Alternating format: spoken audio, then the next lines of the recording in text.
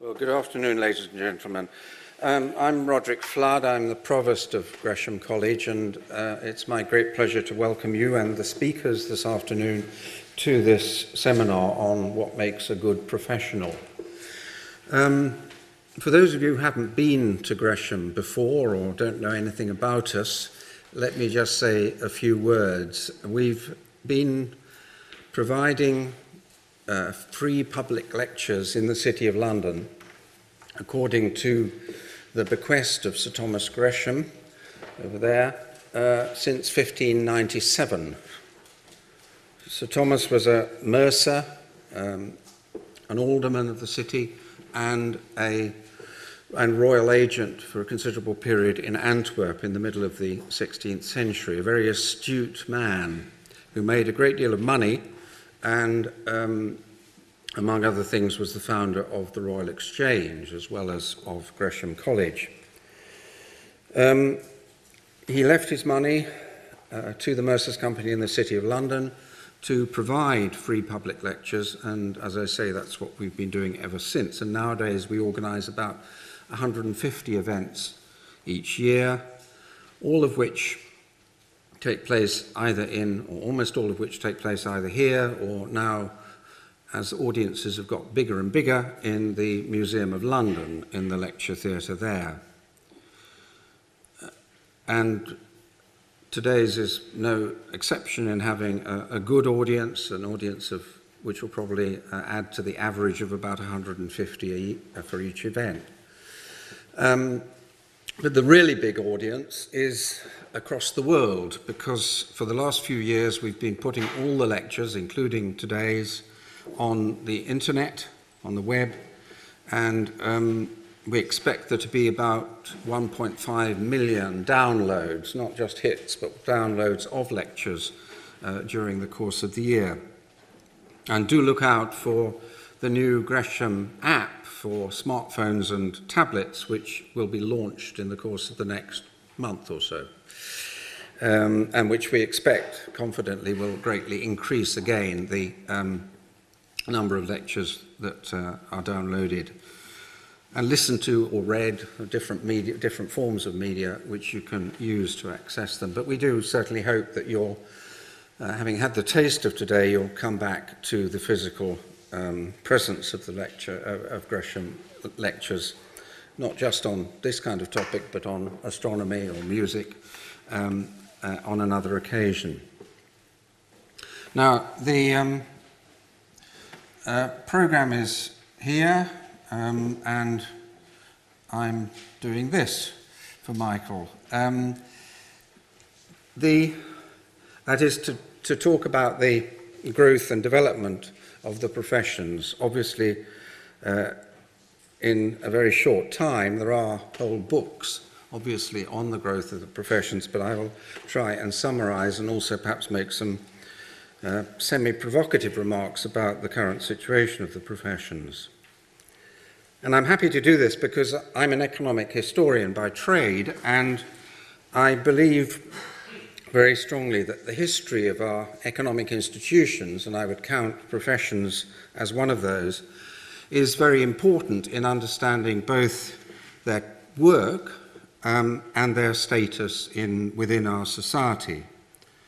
And one of the interesting things on a comparative basis is that the professions have different uh, status in different uh, parts of the world. So, um, again, reflecting their development. The concept of a professional is essentially, is, at least in historical terms, or by historians' terms, relatively recent, the creation of the last 150 years. There were, of course, the learn, so-called learned professions of the church, law and medicine from much earlier periods, but the late 19th century saw the emergence of a much wider range of professions.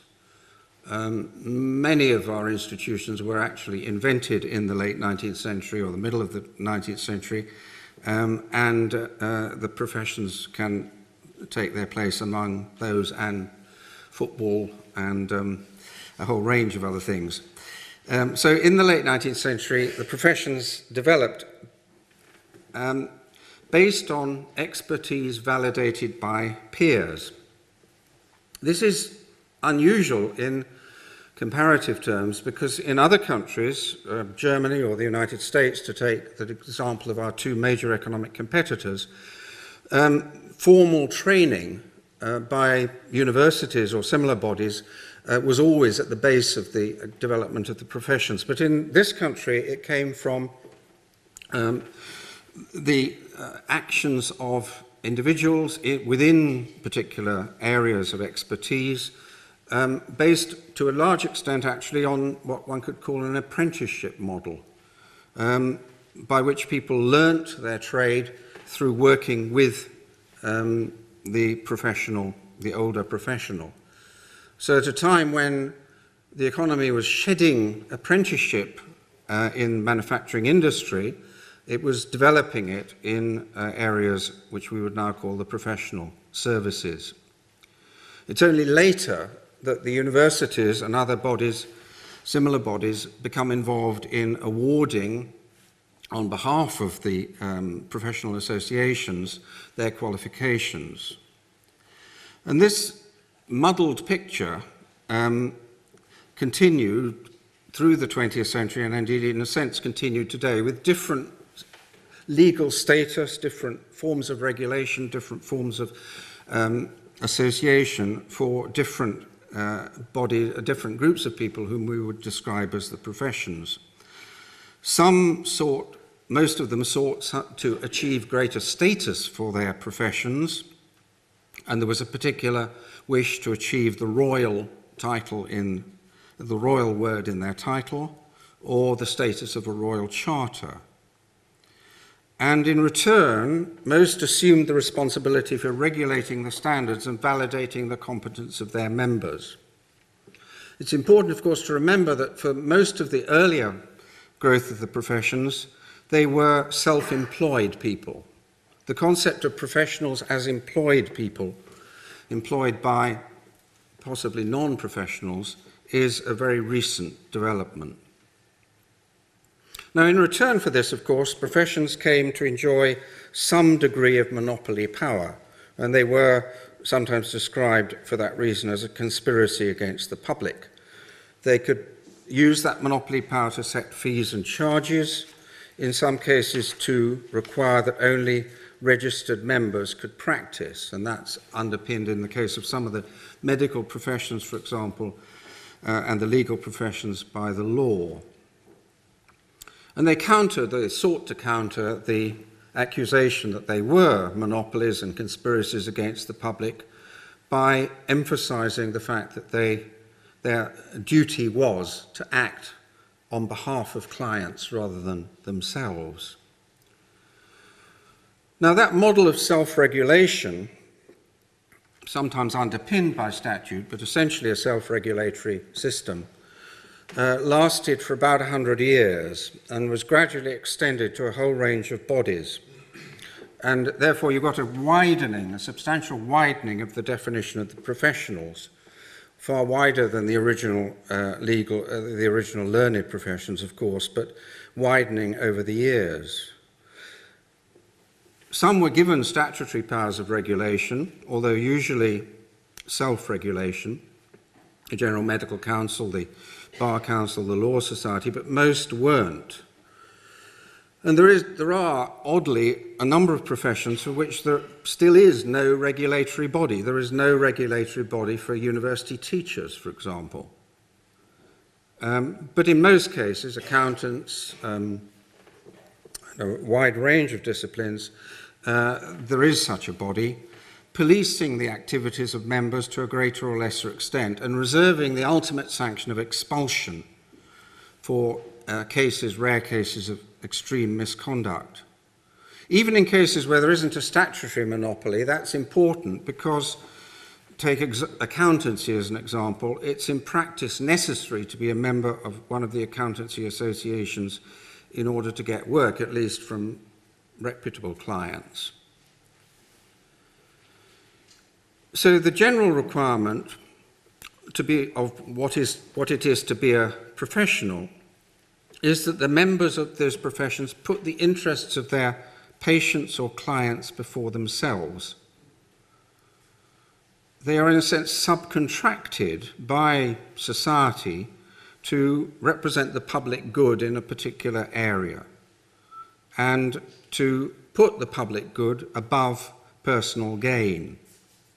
And this distinguishes them from people in other occupations in general who aren't seen and haven't been seen as being bound by such standards. Because of those standards, clients were expected to trust their judgment and ability to good, do a good job. And that judgment and that, that ability was validated by their training, augmented by the continuing professional development which of course is an even more recent phenomenon. It's only really in the 1980s and 1990s that professions started to require people to keep up to date, um, pa partly stimulated by the rapid increase of knowledge in various fields and by the impact of, in particular, uh, the computer, which made a big difference even to, uh, to, to many of the professions.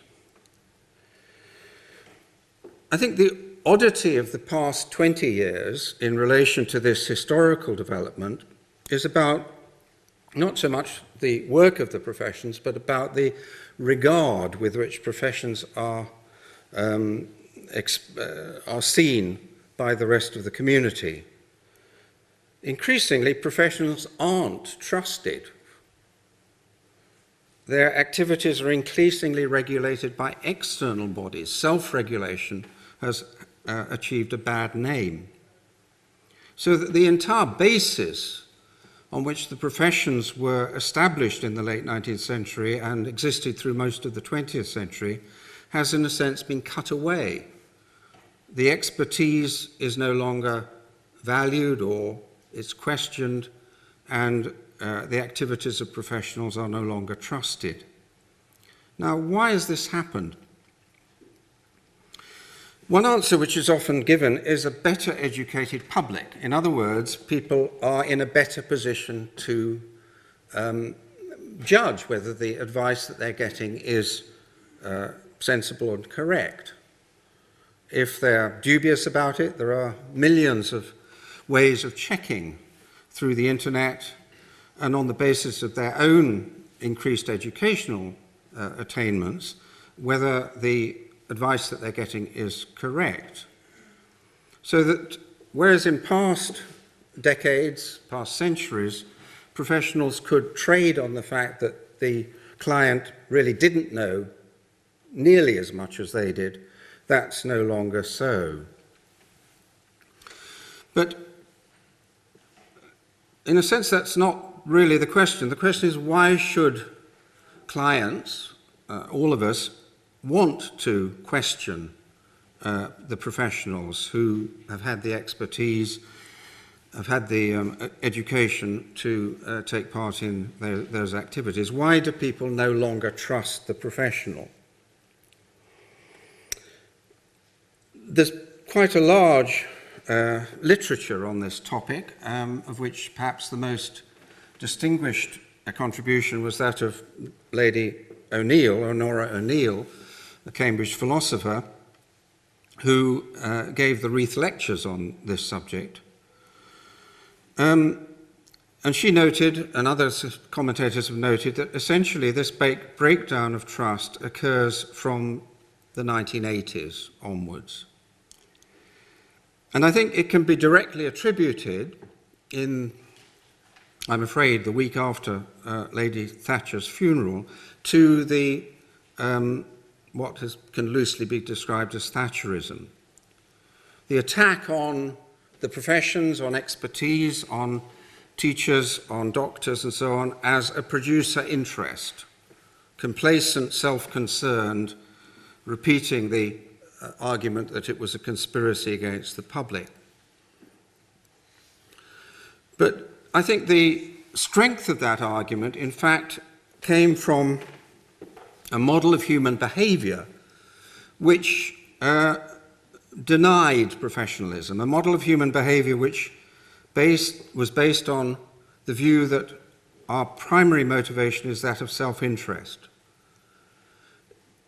Individualism and self interest is deeply antithetical to the concept of individuals acting in the public good. And therefore, those who espouse this particular uh, model of human behavior uh, interpret the behavior of professionalism, professionals and their claim to expertise as self interested and designed to maximize their own welfare at the expense of others. It's paradoxical that self interested behavior is regarded as the wellspring of economic progress in the private sphere, but similarly criticized as inappropriate in the public sphere. But politicians have never been logical. What the result of this has, has, I think, been the breakdown in trust that I referred to. The view that doctors, lawyers, academics, accountants, etc., only act to maximize their own interests, and that they therefore have to be restrained, inspected, constrained by regulatory bodies made up predominantly of lay people, who by definition aren't part of the conspiracy. And this continues, of course. Um, politicians seem to be convinced that in many areas of public life, uh, monetary incentives are what matter. They talk about public service, but simultaneously insist, as Michael Gove, for example, is doing at the moment in the educational field, that employers must introduce performance related pay as a primary tool of management uh, essentially arguing that, that monetary incentives are what um, determines the efficiency and dedication of teachers. This is despite the evidence in the private as well as the public sector that performance related pay in general doesn't work because people have more complex motives than money, uh, which include the desire to do a good job and to be respected by their peers, which brings us back to the, the peer character of professionalism, which I think is an important aspect of it. Now, we can, we can discuss all this later on, but it seems to me that all these attacks on the concept and nature of professionalism and the emphasis that we only act on the basis of self interest have led to a crisis in the professions They've been suffering from self doubt as well as being mistrusted by their clients and the public at large. And it's legitimized behavior, unfortunately, which was previously regarded as unprofessional. Devising complex tax avoidance schemes, having private financial interests in private providers in the health service while commissioning um, uh, such services, or demanding and securing high salaries and incomes from fees on the basis of comparators in the private sector, were all absent from professionalism. And I don't think this is simply a kind of golden age view uh, in 50 or 100 years ago. Now, not all of these developments are negative, some are positive. For example, the greater knowledge and understanding of the worker professions and their underlying knowledge base. I think it's a good thing that it's possible to challenge your doctor or your lawyer by going on the internet because it keeps them on their toes, keeps them up to date, uh, and that's fine. That's part of a, a, a developed and uh, sensible client um, relationship. But other aspects are negative, particularly the view that professionals are so self interested as to bias the advice that they give. Uh, I think it goes along, much of that view, with the depreciation of expertise, de- uh, arguing that expertise has no longer any value, and by contrast, arguing that all opinions are of equal value, the besetting sin of the Twitter generation. Now, what can we do about this? I, we may discuss this for the rest of the afternoon. Um, I think it's probably impossible to turn the clock back. You can't retrieve trust in the short run, um, by certainly not by simply saying that it ought to be there.